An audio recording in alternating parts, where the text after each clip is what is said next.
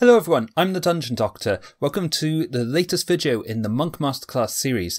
This time we're going to be looking at the way of Astral Self Monk, the subclass which grabs you with two hands, slaps you with the other two, and shouts, Yes, this is a JoJo's reference. This is undoubtedly why it has proven a popular subclass choice since its introduction in Tasha's Cauldron of Everything. It also brings something unique to the Monk class, allowing characters to utilise their Wisdom stat for their unarmed strikes, so they can go aura aura aura aura all over their enemies. But for me, that's actually something I find boring about the subclass. That's right, JoJo fans, I said it. Your subclass is boring. Oh my god! We've been able to do that since the player's handbook by just picking up Shillelagh from a feat or multi-classing.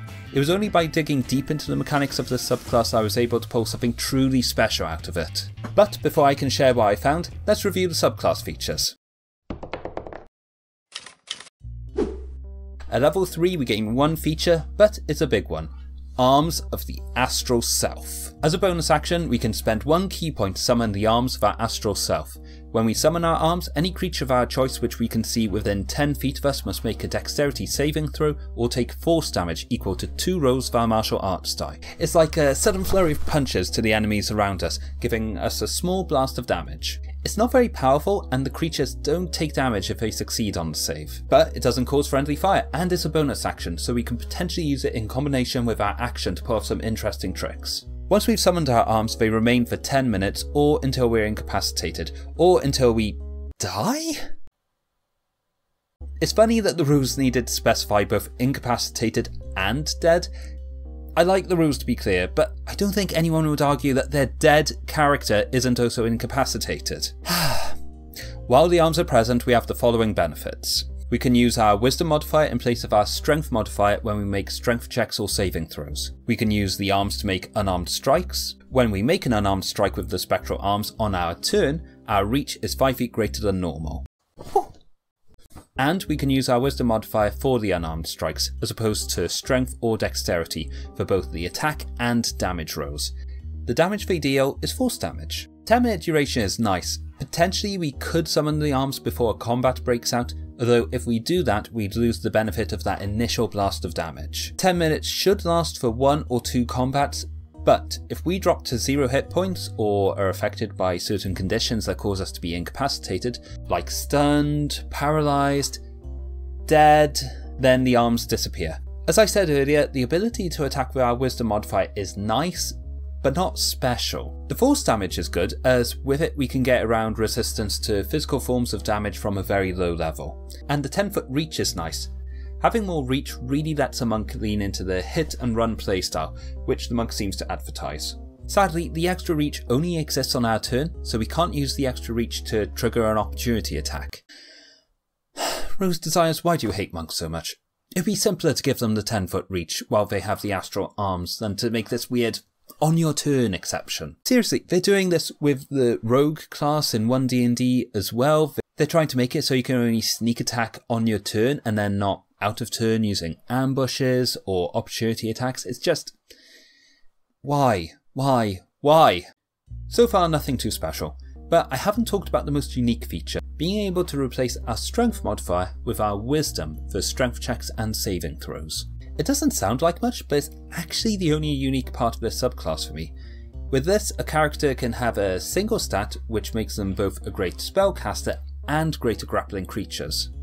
Colby at D4 Deep Dive just recently released a kind of grappling combined with spellcaster build, just coincidentally released it at the same time as I was recording and scripting this.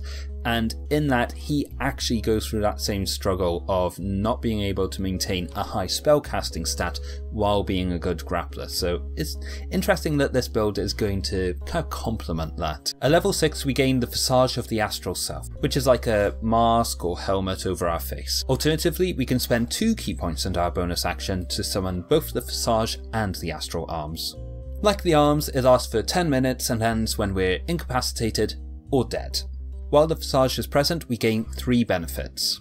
With Astral Sight we can see normally in darkness, both magical or non-magical, up to 120 feet. Hmm. That seems weirdly familiar.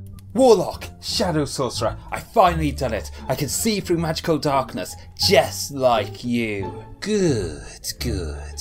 Better late than never at level 6, but never mind. Now, cast the darkness spell and dominate your enemies! Ah, see, I don't have the darkness spell, but maybe one of you could cast it for me. You get how this works, right?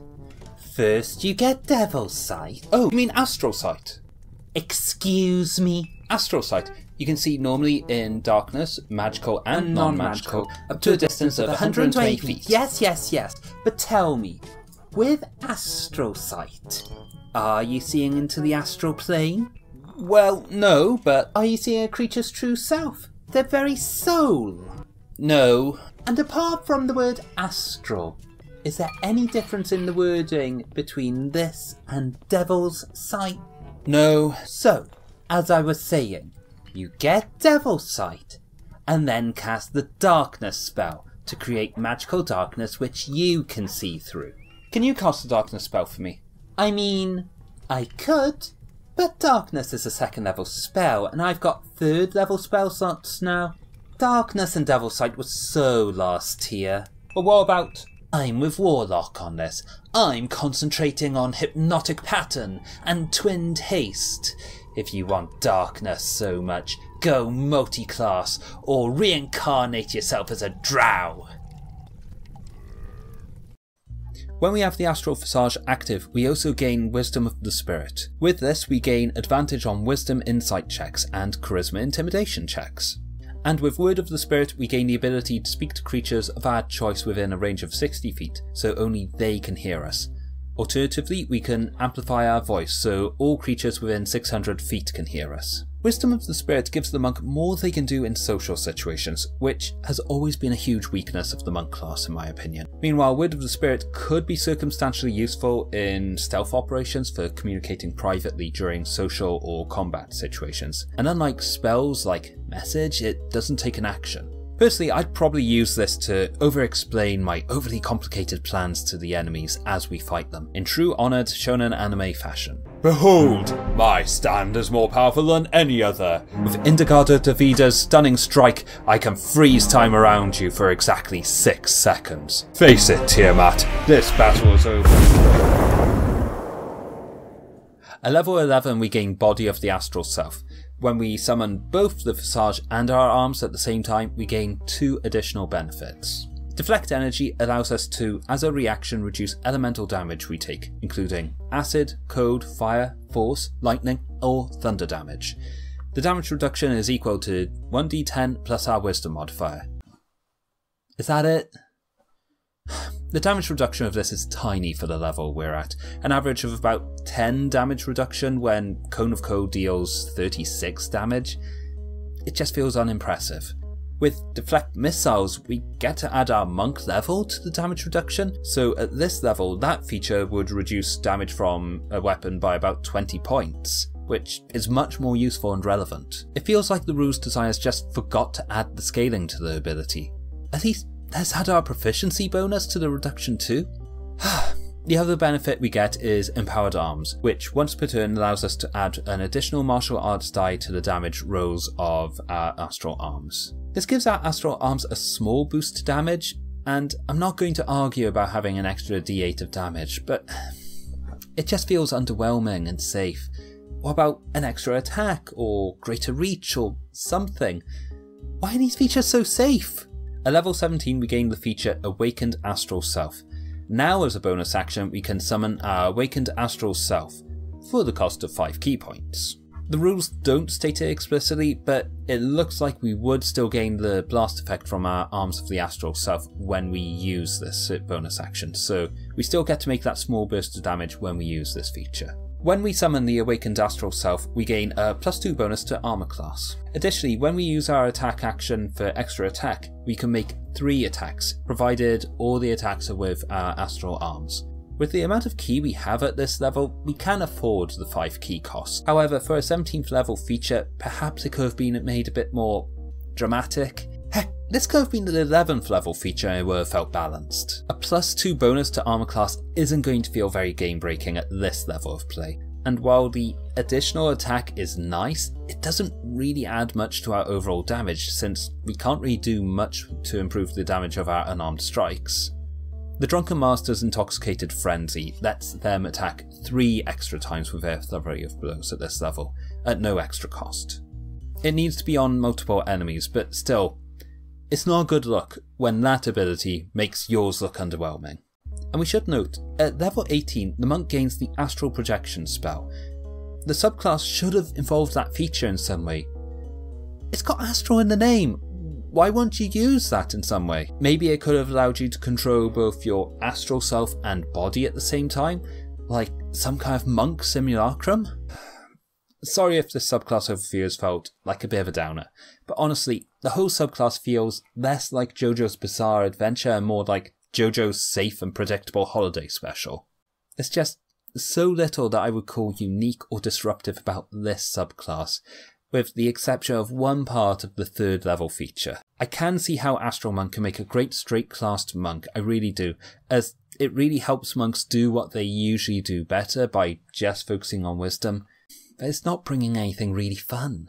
As I've been making builds for the monk subclasses, I've realised that the best monk subclass features aren't necessarily the strongest ones, but the most unique ones. Features like the Long Death Monk's Hour of Reaping and Mastery of Death, the Kensei Monk's Agile Parry, even the Sun Soul Monk's Radiant Sunbolt. Each of these gave something different to the monk which the other classes in the game didn't have access to. And it's those features that allow us to create such unique builds on this channel. Before I get into the build, I once again want to thank you all for the love and support I've been getting on my videos so far. It's really meant the world to me and in every video I want to get just that little bit better. And maybe a bit funnier too. As interesting as I find optimizing characters for D&D, I do realise at times it needs just that little bit of fun added. So please do continue to like, subscribe if you haven't already, and let me know your thoughts in the comments below, as well as what monk subclasses you'd like me to cover next. Thanks. Well, enough talk. It's time to show you the true power of my stand. I present the Way of the Eco Warrior.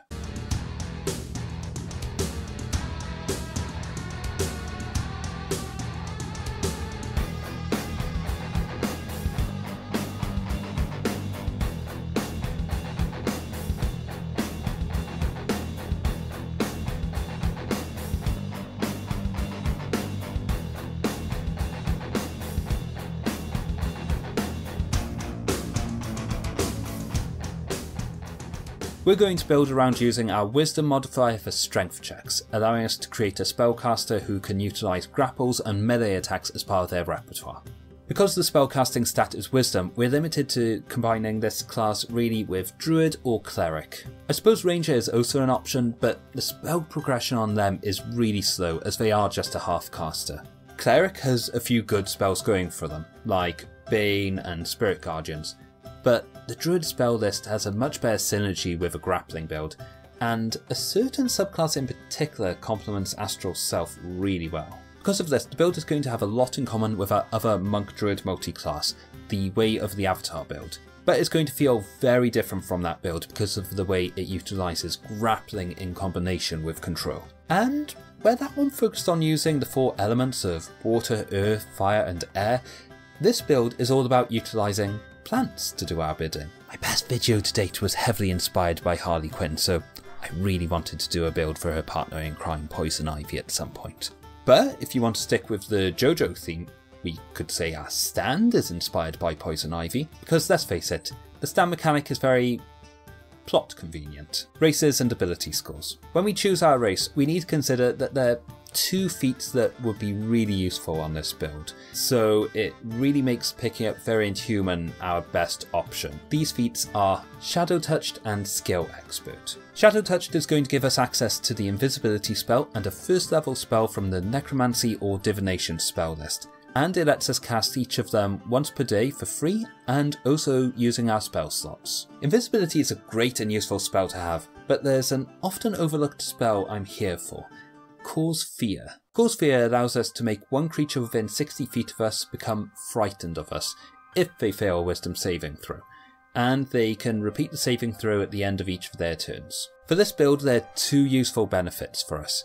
Frightened creatures can't approach our character, which means we can make the most of our increased reach with our Arms of the Astral Self. We can literally keep the enemy at arm's reach.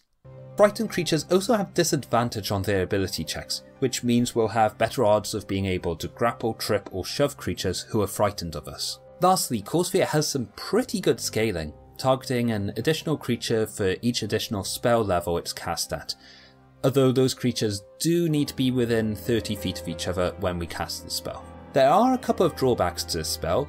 It fails against constructs and undead.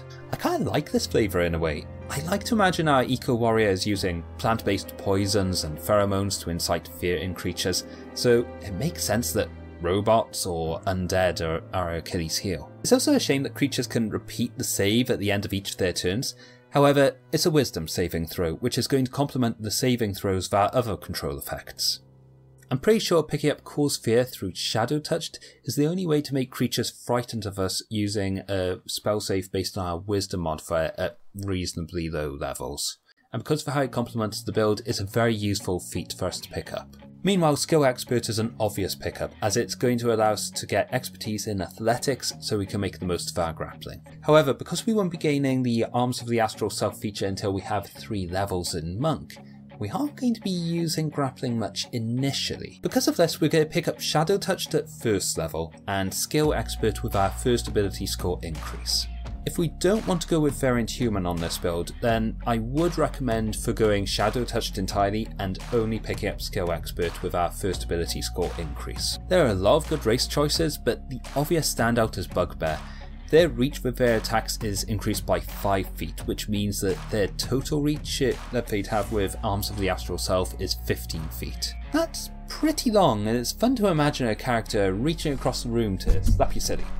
If we go with the point buy method and choose either variant human as our race or a race that lets us a uh, plus 2 in wisdom and a plus 1 in dexterity, we can get the following ability score. An 8 in strength, we're dumping this as we're able to use our wisdom modifier for strength checks using astral arms.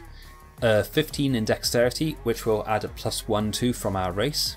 A 14 in constitution, a 15 in Wisdom, which will add a plus 2 from our Shadow Touched feat and our race. Or if we haven't gone for Variant Human, we'll put our plus 2 from our race into this as well. An 8 in Intelligence, and let's put our remaining points into Charisma to make it a 10. If you don't want to be as min-maxed as I am in this build, we can probably afford to drop some points in Dexterity to boost our other modifiers, but it will lower our armor class. Still, if you wanted to lean into a more femme fatale personality of like a traditional poison ivy by boosting our charisma, then it's a good option. Personally, I like the modern misanthropic portrayal of Ivy a bit better, even if Uma Thurman in the Batman and Robin film did awaken things in me as a teenager. oh, hmm, sorry. Lastly, let's consider what skills we'll pick up from our race and background. We might want to pick up athletics now, but we can grab it later with our half feat Skill Expert. I would certainly want to get both insight and intimidation now though, as these will work really well later with Visage of the Astral Self. And as always, stealth and perception are very useful picks on a monk. Level 1, Monk 1. For level 1 we're going to take a level in Monk, giving us martial arts and unarmoured defence. As always we gain martial arts, giving us the ability to make an unarmed strike with our bonus action, which will be useful with our astral arms later. We also gain unarmoured defence, letting us start out with a respectable 16 in our armour class. The main reason I wanted to start with Monk though is for the saving throw proficiencies in strength and dexterity. The proficiency in strength saving throws is actually going to come in handy as we level up.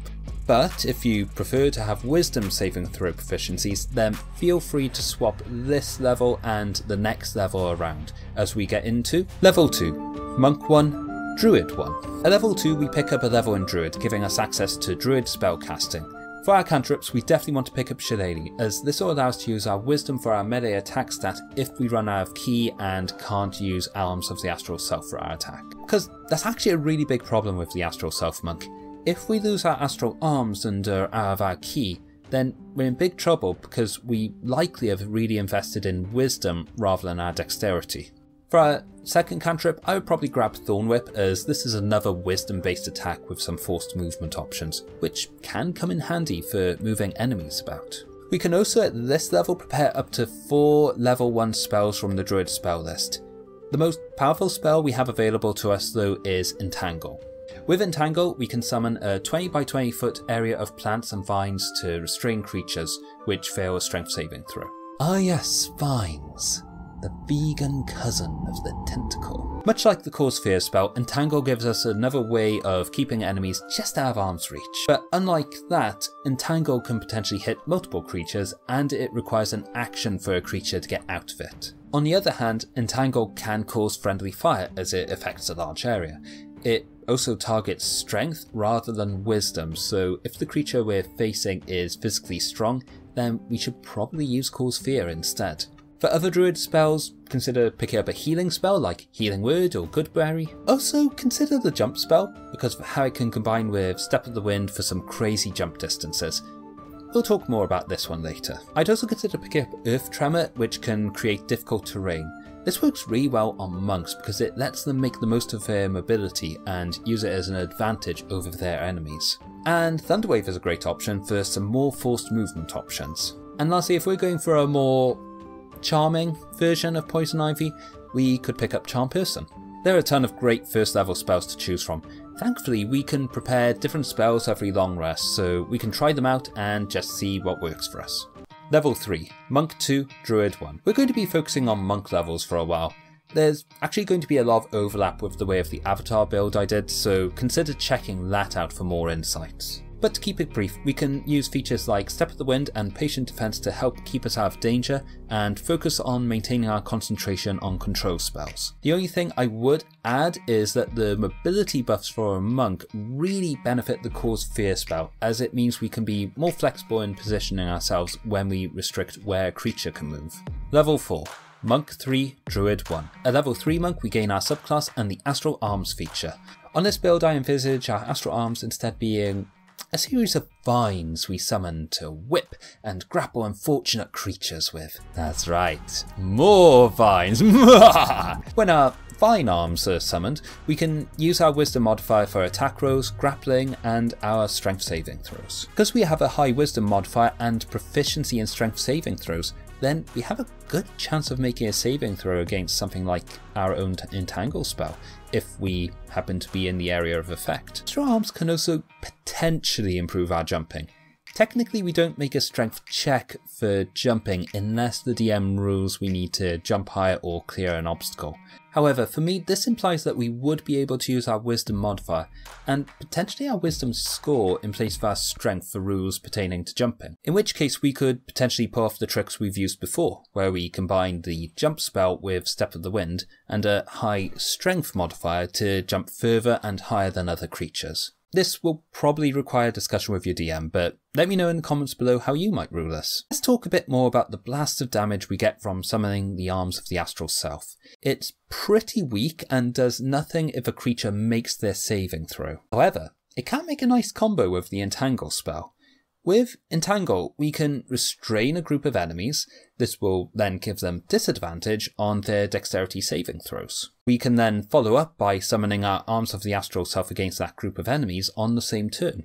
And the restrained condition will then make it more likely that they will fail that saving throw and take that additional damage. Or we can potentially combine two blast effects on the same turn if we use Earth Tremor or Thunderwave as our action in combination with Arms of the Astral Self for our bonus action. This could be pretty useful if we've got a group of bunched up enemies that are just asking for a lot of area of effect damage. Lastly, our reach with our vine arms is at least 10 feet, so once we've restrained or frightened creatures, we're free to pound on while outside their reach. Oh, you're approaching me? Well, you would if I wasn't restrained or scared of you. Outside of our subclass, we get deflect missiles. I spent a long, long time discussing how we could get more out of this in the Kensei Monk build. Seriously, it was about 5 minutes. So check out that video to hear more about that feature. Because we're trying to keep enemies out of melee reach though, it's worth noting that there's a good chance we'll get to use our reaction to reduce the damage from missile attacks. If we can reduce the damage to zero, then we can completely avoid needing to make a concentration check on one of our spells, so it's a good feature to have. Level 5, Monk 4, Druid 1. Level 5 we're going to pick up Skill Expert and use the plus 1 we gain from it to boost our Wisdom to 18. With this we can gain expertise in Athletics, making our grapples very reliable. Not only this, if an enemy is in an area of difficult terrain, such as due to the Entangle spell or Earth Tremor, then we may want to use our Athletics to knock them prone. This way the creature will then need to use 15 feet of movement to get up from prone and their remaining movement to move out of the area of the difficult terrain. We also gain slow fall, which can work really well if we are able to achieve high jumping distances. Level 6 Monk 5, Druid 1. Monk 5 we gain extra attack and stunning strike. Extra attack is great as now we can pull off a grapple and trip combo to hold creatures prone before following it up with flurry of blows. Stunning Strike meanwhile is more reliable on this build thanks to our high wisdom modifier. It also combines well with Entangle as stunned creatures automatically fail their strength saving throws. So on turn 1 we can stun a creature and on turn 2 use Entangle without fail. Having reached this level of Monk, we've now gained a lot in the way of both control and damage dealing abilities. Entangle, Stunning Strike, and Cause Fear each rely on a different saving throw, so we can control all kinds of creatures. Before we grab more levels in Monk, however, we're going to bounce back to Druid. Level 7, Monk 5, Druid 2. With the second level in Druid, we get to pick our subclass, and we're going to go for the often overlooked Circle of the Land. With this we gain an additional Druid cantrip and a list of spells we always know, depending on the land we're associated with. For this character, we're going to go with the Swamp Druid, which is actually appropriate for a character that specialises in vines. And it's going to give us some spells which work fantastically on this build.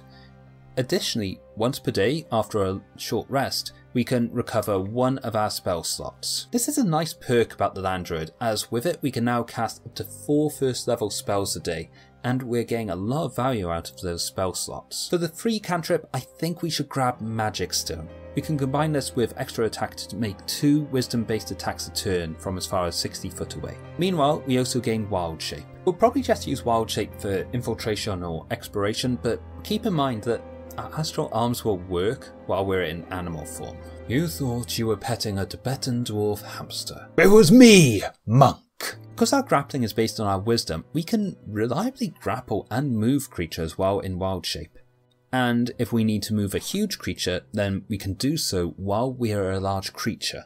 Also, if we were to take the form of a wolf, then we could take advantage of pack tactics to gain advantage on our unarmed strikes. The hit points of our wild shaped creatures is quite low, but we can consider them as just extra hit points on top of our usual ones. And whatever shape we take, we'll have this great visual of vines bursting out of them Akira style and slapping creatures around. If we're using the optional class features from Tasha's Cauldron of Everything, we could also use our wild shape to summon a familiar. This is again great for utility and can give characters the help action in combat. And unlike the way of the furry build, we're not going to eat our familiar this time. Probably. Level 8, Monk 5, Druid 3. Now we've reached level 3 in Land Druid, we get our circle spells. These spells currently include Darkness and Melf's Acid Arrow. As we saw from the skit earlier, Darkness can help us make the most of the Visage of the Astral Self when we gain it. Meanwhile, Melf's Acid Arrow is not a fantastic spell, but it can occasionally be useful when we're facing creatures who are out of our reach. It's also good against spellcasters as it deals secondary damage at the end of the creature's next turn, so it can cause additional concentration checks. Druid also has access to other fantastic spells that work really well with our ability to grapple. Spike Growth deals damage to creatures which move through its area, and the area is difficult terrain. So if we've grappled a creature with our vines, on our turn, we can cast Spike Growth with our free hand and then pull them across the Spike Growth area. For every square we pass them over, they take 2d4 piercing damage. Currently, we have 45 foot of movement, which we can double using Step of the Wind.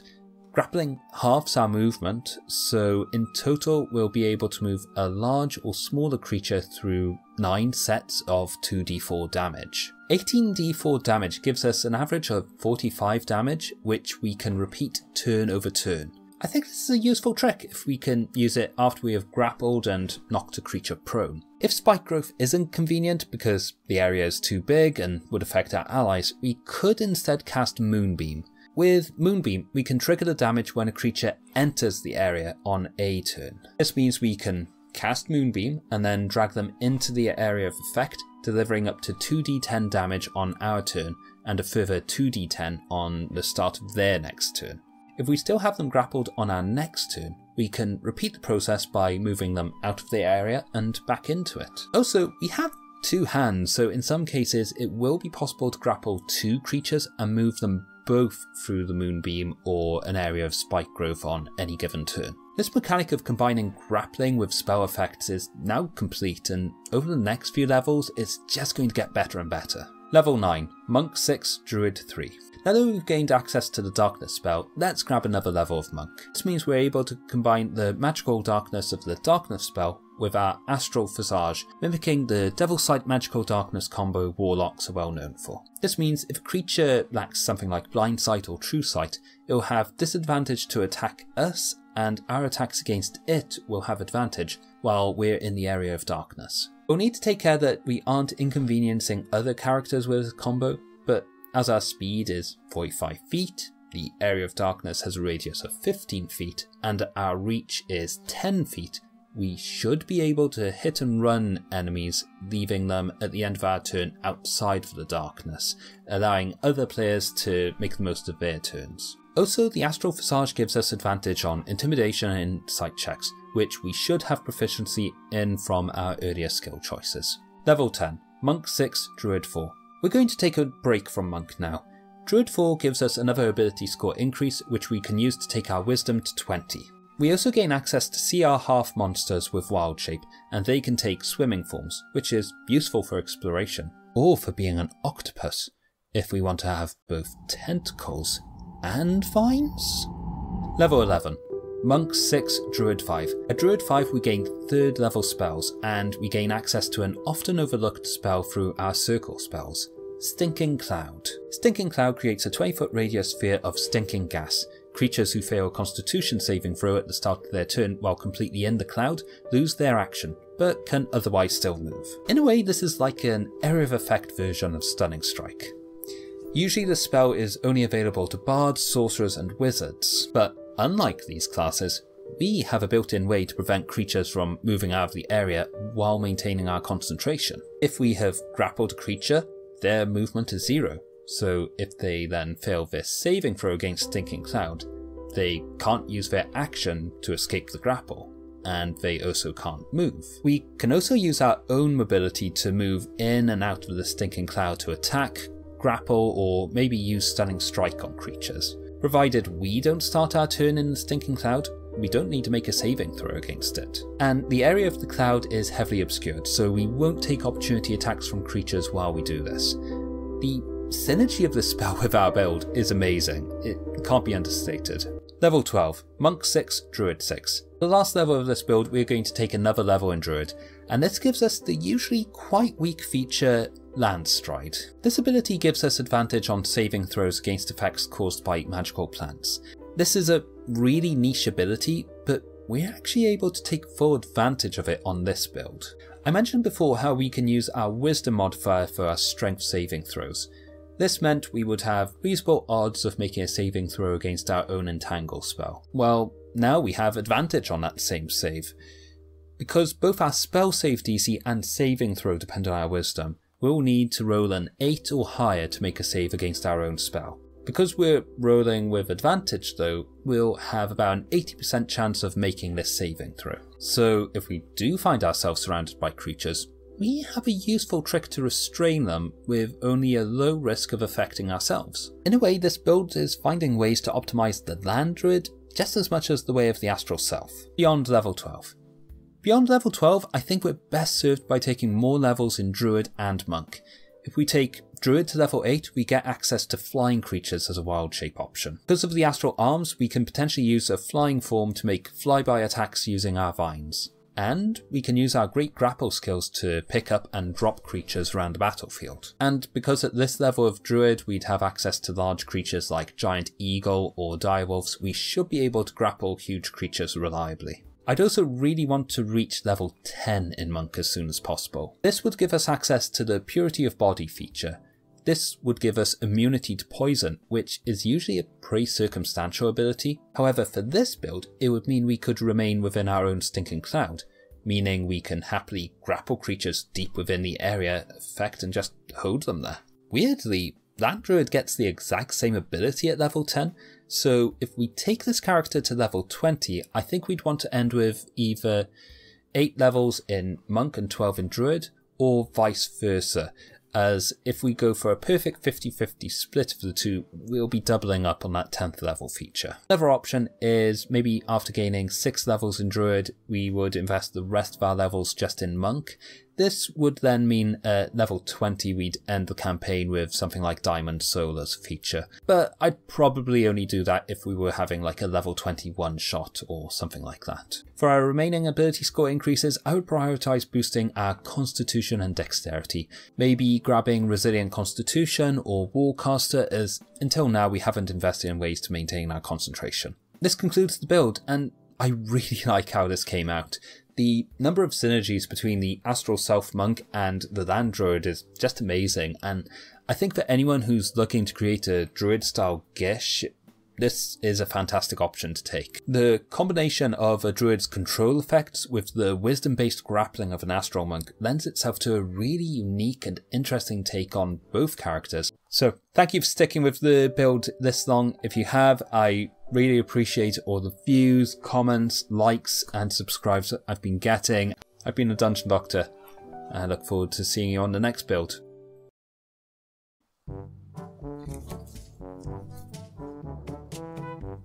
Is to modify it in place of our strength and potentially our wisdom score too.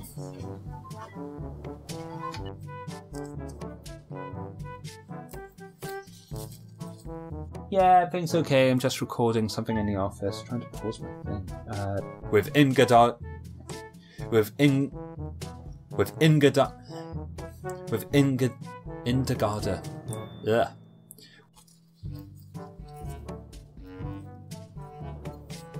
We can summon a spectral visage of our astral self, which is like a mask or helmet over our face.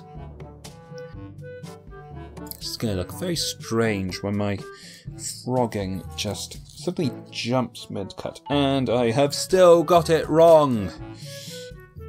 Ah! Five hours later.